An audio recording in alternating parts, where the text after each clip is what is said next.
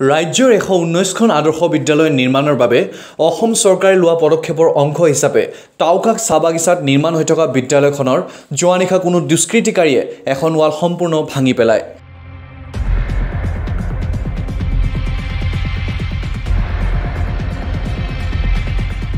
দুহেজাৰ বিছ চনৰ এক নৱেম্বৰ তাৰিখে যোৰহাট লোকসভা সমষ্টিৰ সাংসদ তপন কুমাৰ গগৈয়ে আৰু স্থানীয় বিধায়িকা নাৱনীত সন্দিকৈয়ে শুভাৰম্ভ কৰিছিল নিৰ্মাণ কাৰ্যৰ। যোৱা নিশা প্ৰায় বাৰমান বজাত কোনো লোকে বিদ্যালয়খনৰ ৱাল ভাঙি থৈ যোৱা কাৰ্যক ধিক্কাৰ জনাই আচাৰ নেতৃবৰ্গৰ লগতে স্থানীয় ৰাইজে। দহ ফুটমান ৱাল দীঘল হ'ব।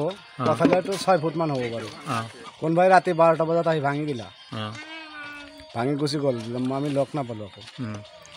ইয়াত মানে আপোনালোকে দেখা নাই কোনে ভাঙিছে? নাই কোনে ভাঙিছে এইটো আমি ক'ব নোৱাৰোঁ। ৰাতি ভাঙিলে। ৰাতি ভাঙিলে। আপোনালোকে ৰাতি নাথাকে ইয়াত? থাকোঁ তাৰমানে ৰাতি থাকোঁ মানে আমিতো দিনটো কাম কৰোঁ। কাম কৰাৰ পাছত ভাত পানী খোৱাৰ পাছত আমি টোপনি যাওঁ। টোপনি কৰিলে মৰাৰ নিচিনাই হৈ যায় মানুহ। হয় হয়। সেনেকুৱা অৱস্থাত ভাঙি থৈ গ'লে। ৰাতি বাৰটা বজাত সেই গম পালোঁ যে ভাঙিলে কোনোবা। ইয়াৰ ওচৰৰ কোনোবাই হ'ব চাগে? ওচৰৰ এতিয়া কেনেকুৱা ক'ম? আমিতো দেখা নাই বাৰু। ওচৰৰো হ'ব পাৰে দূৰৰো হ'ব পাৰে। এনে দুষ্কৃতিকাৰীৰ বিৰুদ্ধে অতি শীঘ্ৰে ব্যৱস্থা গ্ৰহণ কৰিব বুলি জনায় আচাৰ কৰ্মীয়ে। আমি অসম স্বাধীন ছাত্ৰ সন্থা টাউকক উপশাখাৰ তৰফৰ পৰা। যিহেতু যোৱা নিশা যি ঘটনা আমাৰ টাউকক টাউকক উচ্চ উচ্চ উচ্চ শিক্ষানুষ্ঠানৰ কাৰণে যি এশ ঊনৈছখন স্কুলৰ ভিতৰত আমাৰ টাউকক চাহ বাগিচাত এখন স্কুল দিয়াৰ যি ব্যৱস্থা কৰিছে চৰকাৰে সেই দুষ্টি দুষ্কৃতিকাৰীয়ে যি স্কুলটো লণ্ডভণ্ড কৰিলে তাক আমি আৰ্টছা টাউকৰ উপশাখাৰ তৰফৰ পৰা ধিক্কাৰ জনাইছোঁ। লগতে প্ৰশাসনক অনুৰোধ জনাইছোঁ যিহেতু অতি শীঘ্ৰে তদন্ত কৰি দোষীক ক্ৰায়ত্ব কৰিব বুলি অনুৰোধ জনাইছোঁ। আৰু যিহেতু আমাৰ টাকক টাকক চাহ বাগিচাত বহুতো শিক্ষিত যুৱক আছে যিহেতু ইয়াত নিবনুৱা হৈ আছে সেই সকলোৰো ইয়াত সুবিধা হ'ব। আৰু যি দুষ্ট দুষ্টকাৰী কৰিছে বা যি বিৰোধী পাৰ্টীয়ে এই বস্তুটো কৰিছে। আমি তেখেতলোকক ধিক্কাৰ জনাইছোঁ। লগতে প্ৰশাসনক বিনম্ৰভাৱে অনুৰোধ জনাইছোঁ যে অতি শীঘ্ৰে তদন্ত চলাই দোষীক কাৰায়ত্ব কৰিব বুলি অনুৰোধ জনাইছোঁ। আপোনালোকে প্ৰশাসনক ইতিমধ্যে ইয়াৰ কিবা লিখিত হেৰি দিছে নেকি? জনাইছে নেকি লিখিতভাৱে? লিখিত নহয় ফোনযোগে মতা হৈছিলে আৰু ইয়াত প্ৰশাসন আহি বস্তুটো তদন্ত কৰি গৈছে আৰু তদন্ত প্ৰক্ৰিয়া চলি আছে। আচ্ছা। আপুনি ভাবেনে আপুনি কি ভাবে? কোন কেনেকুৱা দুষ্কৃতিকাৰীৰ কাম হ'ব? এইটো যিটোৱে এই- হয় নিশ্চয় কোনোবা বিৰোধী দলৰ ৰা- শাসক শাসক পাৰ্টীৰ বিৰোধী দলৰ মানুহৰ হ'ব পাৰে। আচ্ছা।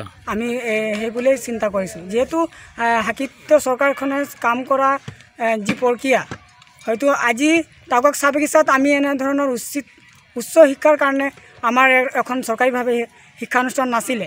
আজি চৰকাৰক আমি ধন্য- ধন্যবাদ জনাব লাগিব যিহেতু আমাৰ স্কুলখন হৈছে এই এ, আমাৰ যি চ- চৰকাৰে কাম কৰিছে। তেখেত কা- সেইকাৰণে হয়তো বিৰোধী দলবিলাকে হয়তো কৰিছে বুলি আমি অনুভৱ কৰিছোঁ। আচ্ছা আপুনি ভাবিছে মানে কোনোবা বিৰোধী পক্ষই এই কাম বিৰোধী হ'ব। পাৰে? পক্ষই কৰিছে বুলি। চৰাইদেউৰ পৰা Nabajyoti Tipamia report news next সগৌৰৱেৰে যোৱা সোতৰ বছৰ ধৰি সোণাপুৰ অঞ্চলত ৰাইজৰ সেৱাৰ মানসেৰে হোটেল ব্যৱসায় আৰম্ভ কৰা অন্যতম এজন অসমীয়া ব্যৱসায়ীৰ কষ্টৰ ফচল ডিলাইট ধাবা। সদায় থলুৱা খাদ্যৰ ওপৰত গুৰুত্ব দিয়া এইখন ধাবাত থালি একেবাৰে কম মূল্যত উপলব্ধ।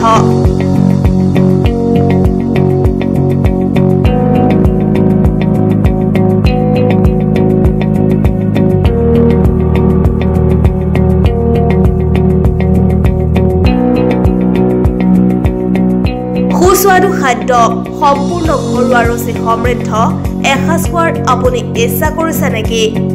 তেন্তে আহক সোণাপুৰৰ ডিলাইট ধাবালৈ য'ত পাব সকলো ধৰণৰ উৎকৃষ্ট মানৰ খাদ্য সম্ভাৰ।